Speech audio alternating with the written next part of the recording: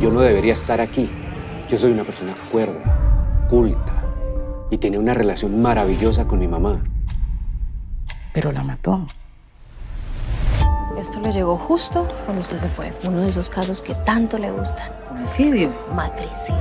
Puede decirme la víctima. Luzmila de Henao padecía artrosis degenerativa y vivía con su hijo. Un hombre de sus cuarentas viviendo con su madre. ¿Cómo está mi mamá?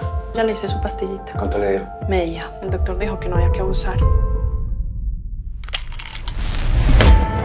En poder de esta fiscalía habrá una carta en la que el acusado reconoce los hechos. Y ahí reconoce tranquilamente que usted mató a su mamá. ¿Cómo se declara el acusado?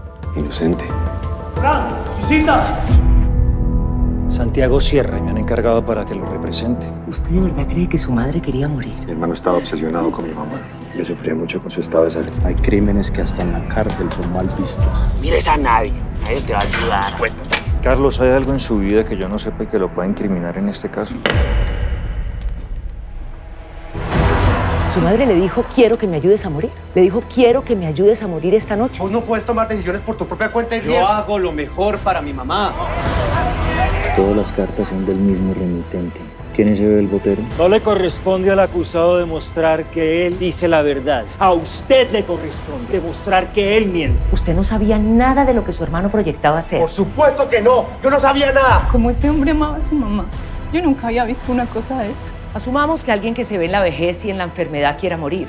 Pero usted, señor Fram, ¿qué razón tenía usted para morir?